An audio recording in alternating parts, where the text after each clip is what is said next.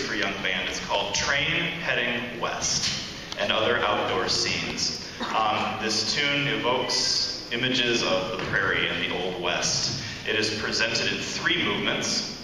The students have asked me to remind you that it is customary that the audience not clap between movements and that they would probably smack me if I didn't remind you of that. So, in three movements, train heading west.